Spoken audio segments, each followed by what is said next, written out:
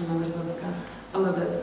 E, Jeżeli chodzi o doświadczenie, e, jakie mamy tutaj w Autodesku na podstawie naszego oprogramowania, doświadczenia są zbliżone jak w Microsoftie. E, Aczkolwiek największe problemy, które spotykamy wśród firm, jest to tak naprawdę błędne zarządzanie bądź nieświadome zarządzanie właśnie licencjami.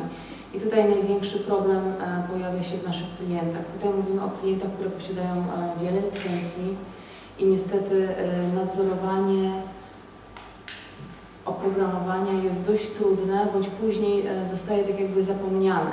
I wtedy wchodzą też e, w to osoby trzecie, które e, mecenas Witucki tutaj wspomniał, które niestety zaczynają na swoją rękę dokładnie optymalizować bądź wręcz omijać zarządy, zarząd bądź informacje na temat e, potrzeb oprogramowania i w tym właśnie najczęściej powstają takie błędy. Jeżeli chodzi o program sam, e, on jest mocno e, propagowany również w naszej firmie. Za pomocą naszych partnerów autoryzowanych organizujemy bardzo często, wręcz kwartalnie, szkolenia, które przypominają zasady posługiwania się naszej umowy licencyjnej, które później pomagają weryfikować jakiekolwiek błędy. E, I tak to wygląda naprawdę z perspektywy e, naszego tutaj e, oprogramowania Autodesk. Dziękuję i teraz, teraz